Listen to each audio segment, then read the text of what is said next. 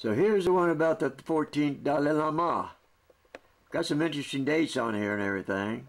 Let's see how far I can go in. On July the 6th, 1935.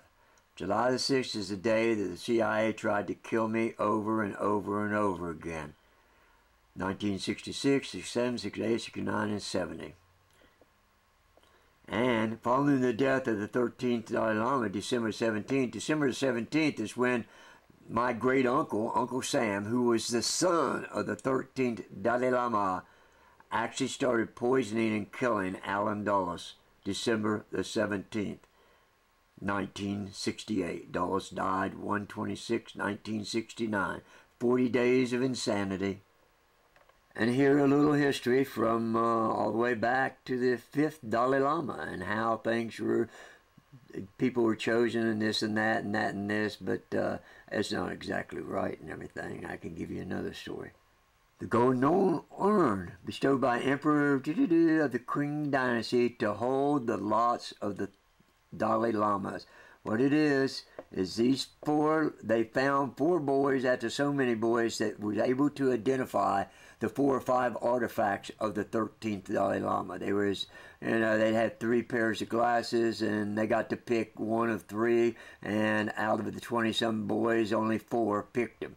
So they put these guys lots, these sticks in that urn in order to, watch this, how is it going to do? According to the regular stipulated by the the final of you see? Can you read that?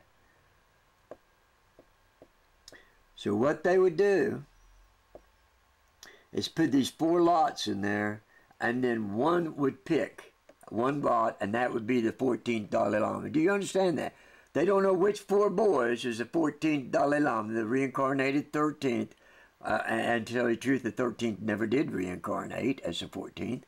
Uh, they would pick one of these lots, and that's how they did it. You know, it's just like going to Las Vegas or wherever else, some sort of casino, going up to the game, and there's four lots. You pick one. If you pick the right one, you win money. If you don't, you don't win money. That's how these boys were picked. And when you come to find out who actually found the 14th Dalai Lama, yo, you know what? He ended up in jail not too long after that and was found dead in jail. He had concubines and even had a weapon.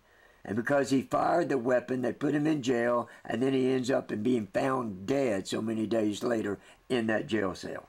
There you go. There's a history that I've been told. Okay, I gave you those strange dates, July the 6th, where the CIA tried to kill me over and over and over again. Then December 17th, when the 13th Dalai Lama died, and that was the date that the, his son went and poisoned uh, uh, Allen Dulles, because I told him on 11-27, the uh, 28th birthday of Bruce Lee, uh, uh, just four days before I met Bruce Lee, I told him about how uh, Dulles had been trying to kill me and all that and everything. But here, look at that. February 22nd, the enthronement ceremony was held. Okay, you know what 222 is?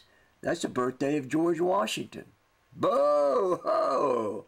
Another date just falling right out. Three dates mentioned on these two article, which is one article, on these two pages, which is one article, and all three I've related those dates to some sort of other coincidence. You know? There's other people that were born on July the 6th, besides the 14th Dalai Lama. What was it? I think uh, Nancy Reagan was, and uh, George Bush, I think. A younger George Bush, yeah, you have to check it out. There you go, people. There's a quick vid telling you how they picked the 14th Dalai Lama, and me claiming that the 13th Dalai Lama did not reincarnate as a 14th. Sorry. Sorry, sorry, sorry, sorry that I'm messing up your game plan. Take care.